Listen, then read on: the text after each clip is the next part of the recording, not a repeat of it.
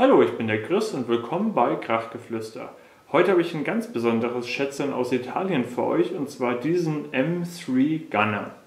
Dabei handelt es sich um die 50, die 50er Variante, also es gab in drei Ausführungen, einmal 50, einmal 100, einmal 150 ähm, und der 50er scheint laut den Informationen, die ich jetzt gefunden habe, 40 äh, Watt geliefert zu haben. Es gab dann noch zwei größere Brüder, ähm, die halt dann mit größeren Lautsprechern versehen waren und die dann um die 80 bzw. um die 100 Watt geliefert haben.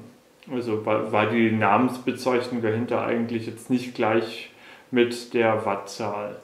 Genau. Ähm, wurde Ende der 70er Jahre in Italien gebaut, in der Nähe von Mailand von Meazzi, äh, die damals halt am Ende ihrer Tage quasi gewesen sind. Und ich hatte irgendwo gelesen, für was dieses M3 steht, für Meazzi und noch zwei andere Sachen. Ähm, ich glaube Meazzi, Milano und dann war noch eine andere Firma mit involviert. Ähm, aber das kriege ich gerade nicht hin, äh, kriege ich gerade nicht also auf die Kette quasi das äh, nochmal zu wiederholen, beziehungsweise ich weiß auch nicht, inwieweit diese Informationen stamm, äh, stimmen. Ähm, die Dokumentationslage ist da eher überschaubar, aber sei es drum. Ich habe den M bei eBay Kleinanzeigen entdeckt und mich direkt verliebt quasi. Und das zu Recht.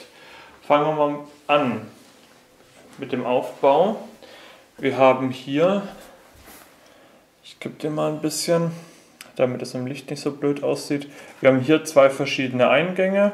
Einmal clean, einmal für einen der tollen Features, die dieser Amp hat.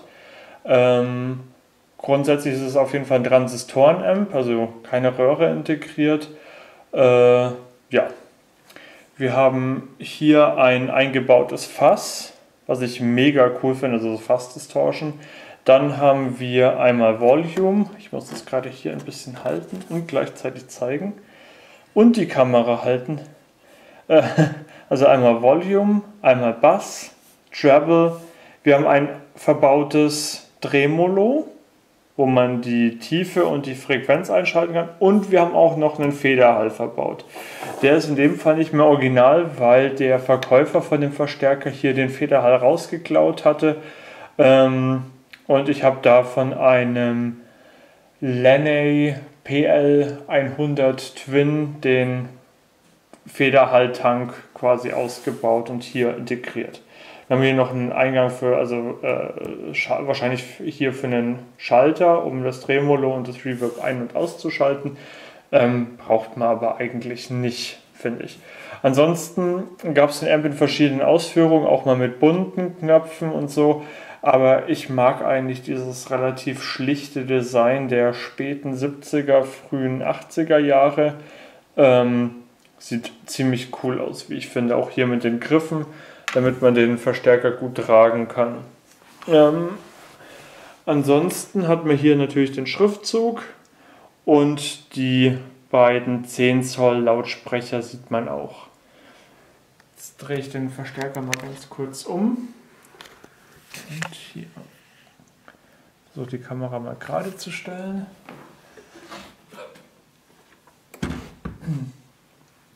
Dann haben wir hier unten ähm, den Platz, wo man das Kabel ordentlich einwickeln und dann verschließen kann, was ich mega cool finde. Und ansonsten kann man halt hier über dieses Netz ein bisschen reingucken. Ähm, viel wird man wahrscheinlich nicht sehen. Ich hatte den Amp eben offen, um den Federhalt zu montieren, was nicht ganz einfach gewesen ist, weil hier noch keine Zinsbuchsen drin sind.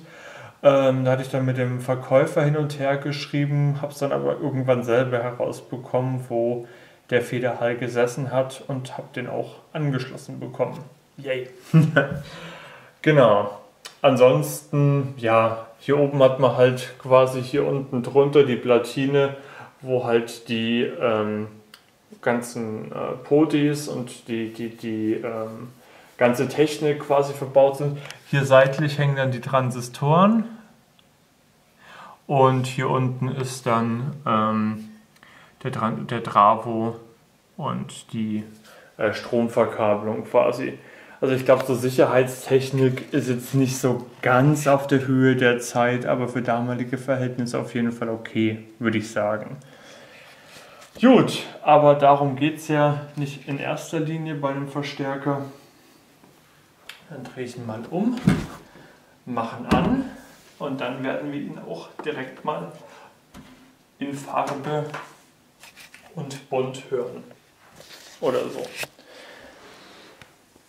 Ähm, testen werde ich ihn übrigens hier mit meinem Pedalboard und als Gitarre verwende ich die Nazangi Stromgitarren Tara ähm, mit puffartigen Tonabnehmern jetzt fürs erste.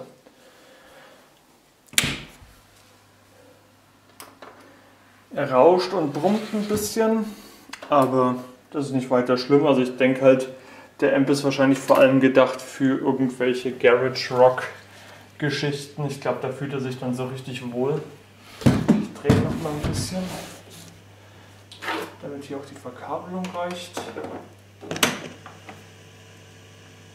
Drehe mal Bass und Treble auf Mittelstellung, alles andere ist erstmal aus.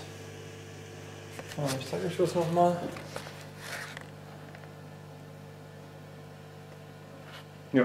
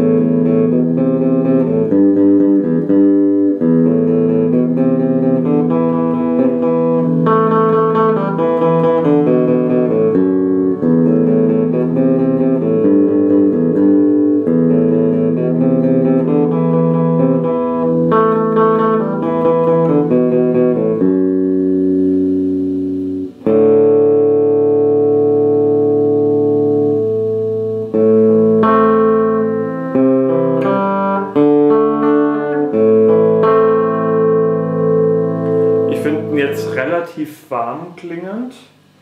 Ähm, aber, also ich mag es aktuell ein bisschen traveliger quasi. Und jetzt drehen wir mal den Bass ein bisschen runter auf, was ist es? 3 Uhr? Äh. ja, egal. Und Travel dafür die andere Richtung, drehen ein bisschen runter. Äh, hoch. Na, ich bin verwirrt. Egal.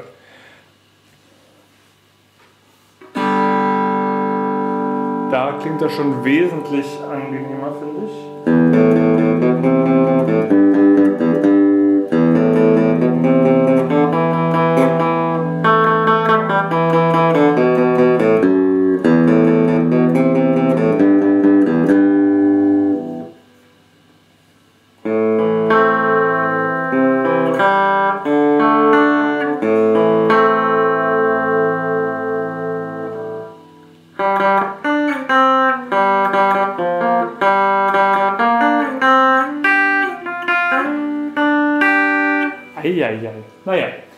Ein bisschen schief, aber nicht schön. Jetzt geben wir mal noch ein bisschen Reverb dazu. Ähm, genau. Guck mal, wie das klingt. Wie gesagt, ist jetzt nicht der Originalhall und brummt halt ein bisschen.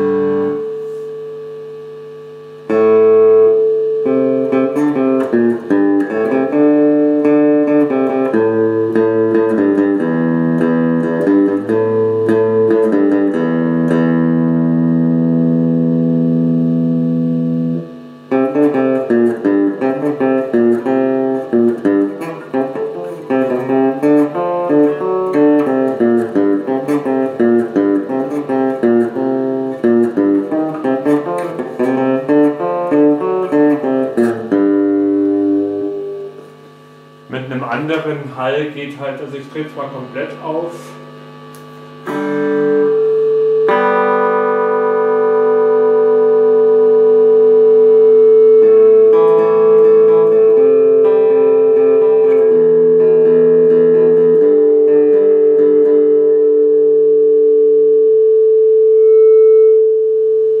Oh. Äh. mit einem anderen Hall geht da halt bestimmt noch mehr, noch mehr spacige Sounds, aber ich fand das jetzt so eigentlich ganz passend. Ähm, genau, jetzt gehen wir mal, machen wir mal das Tremolo an. Ich habe jetzt mal beides auf Mittel-Mittel gestellt. Ton äh, lasse ich jetzt mal genau so. Reverb ist jetzt auch auf äh, 3 Uhr. Und ja.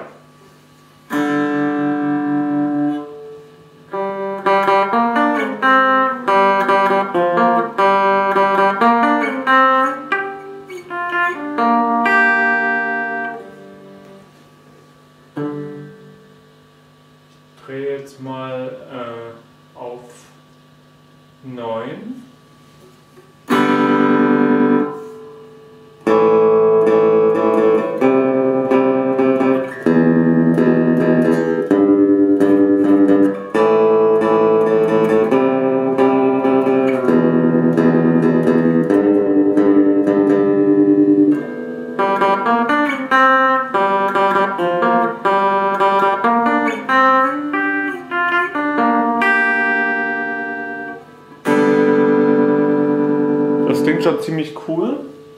Drehen wir mal komplett auf. Da tut sich jetzt nicht mehr so viel.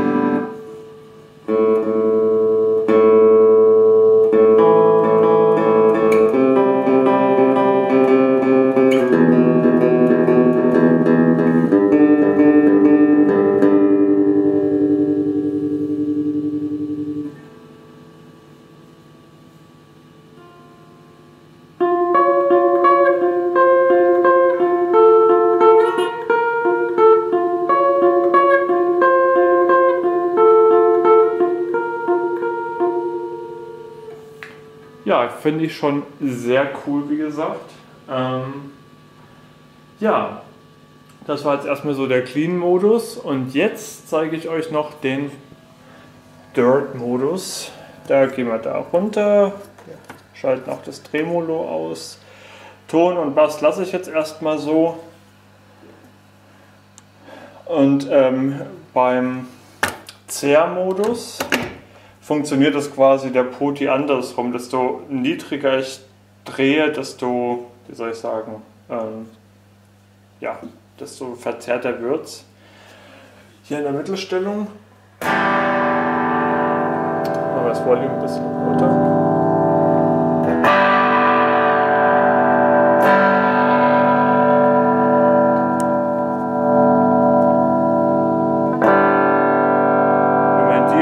Jetzt gehen quasi, wird halt der Klang cleaner, wenn er voll aufgedreht ist. Und wenn wir jetzt hier rüber gehen, ist erstmal leiser.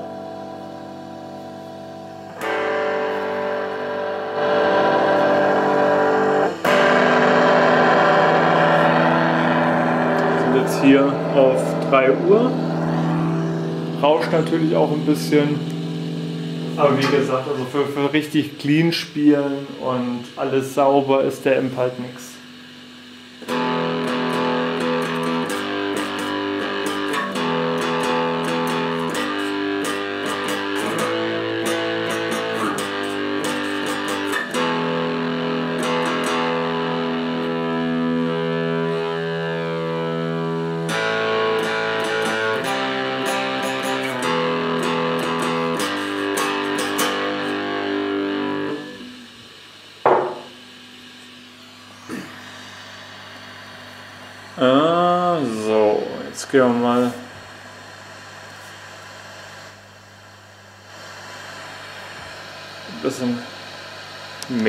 Zerre rein, ein bisschen mehr Rauschen. Also er ist halt auch relativ empfindlich auf irgendwelche Hintergrundgeschichten.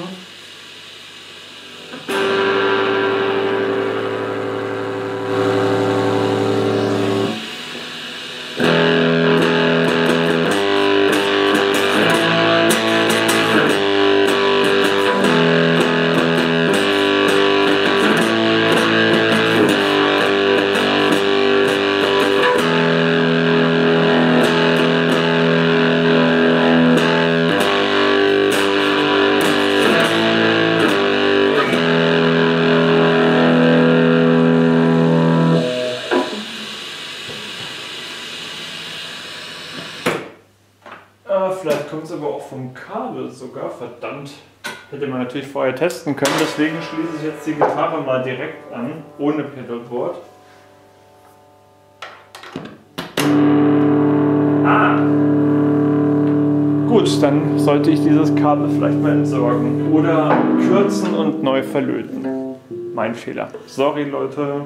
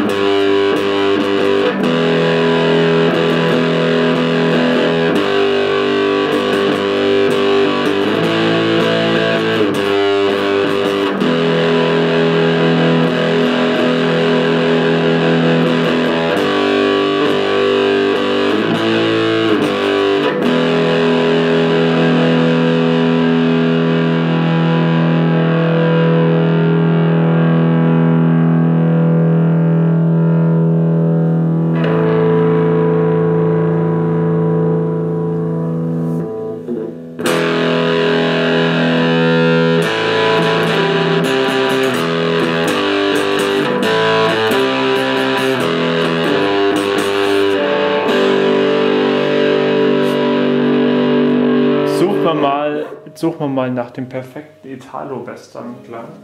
Vielleicht ein bisschen weniger Zähre, ein bisschen Tremolo, ein bisschen Reverb.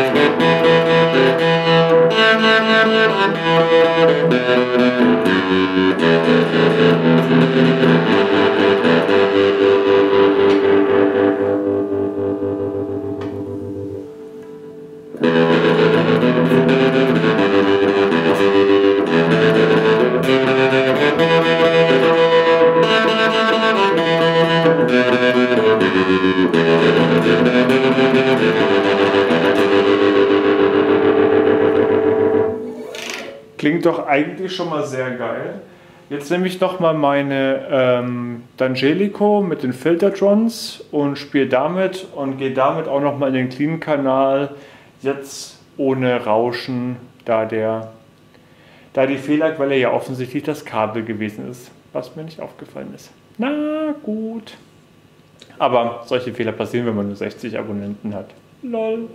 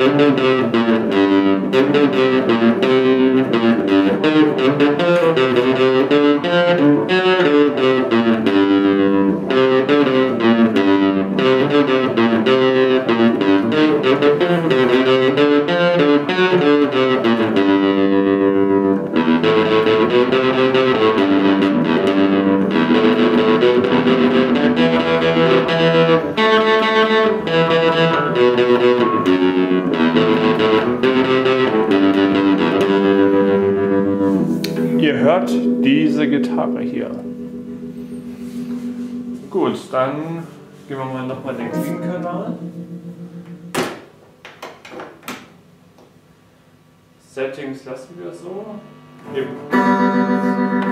Wir geben noch ein bisschen mehr Reverb dazu, den habe ich jetzt halb aufgedreht.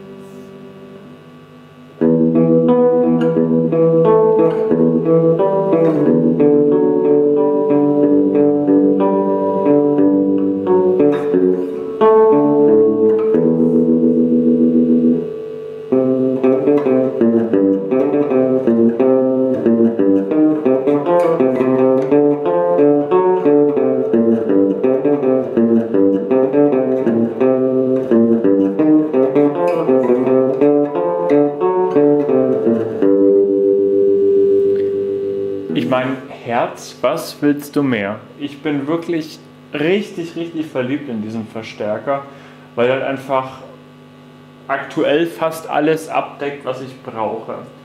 Ähm, ich werde jetzt hier mal ganz kurz noch was dazwischen schalten. Ich überlege gerade, wie ich das am besten mache. Ähm, ja, ich pausiere mal eben das Video. Bis gleich. So, da bin ich auch schon wieder. Und jetzt habe ich hier von Kräuter ähm, ein Pedal des Color Boost dazwischen gehangen und geht es hier über die Color-Seite, um dem quasi noch ein bisschen mehr Treble hinzuzufügen. Äh, ist jetzt ja auf 9, 10 Uhr irgendwo in den Dreh rum. Und es spielt weiterhin meine Tangelico.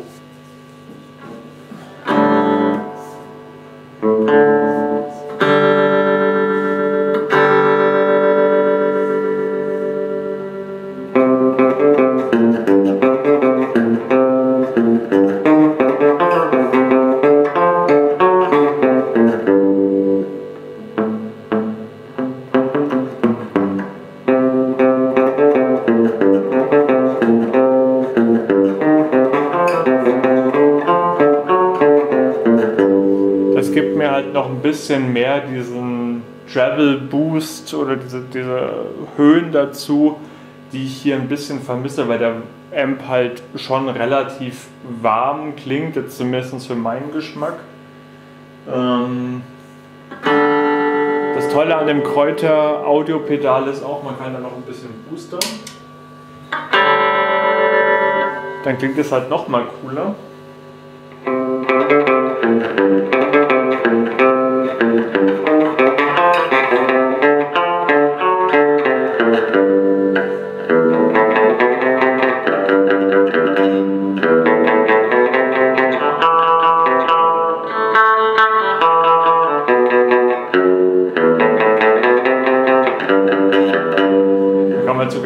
noch mal cooler. sonst die Ohren zerspringen.